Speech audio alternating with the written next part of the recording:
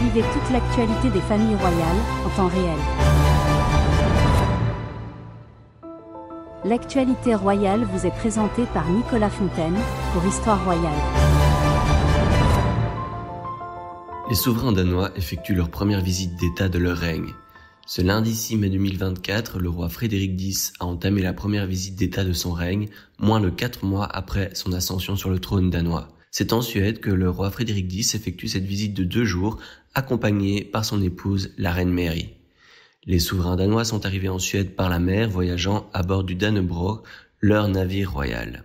Arrivés à Stockholm, ils sont montés à bord de la barge royale Ordre de Vasa, venus les chercher pour les emmener jusqu'au quai situé au pied du Palais Royal. Ils ont été accueillis au Palais Royal de Stockholm par le roi Karl XVI Gustav et la reine Sylvia de Suède. Le couple héritier suédois ainsi que le prince Carl Philippe et la princesse Sophia étaient présents.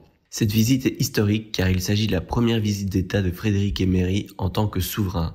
La tradition veut que les premières visites d'État des nouveaux souverains danois aient lieu dans les deux monarchies scandinaves. La famille royale danoise compte plusieurs rois de Suède comme ancêtres. Les liens familiaux sont aussi devenus des liens d'amitié qui continuent à s'entretenir au fil des générations. Le roi Frédéric est le parrain du prince Oscar et la reine Mary est la marraine de la princesse Estelle, les deux enfants de la princesse héritière Victoria. La visite d'État dure deux jours. Les souverains danois consacrent leur première journée aux autorités de Suède, puis ils rencontrent des astronautes.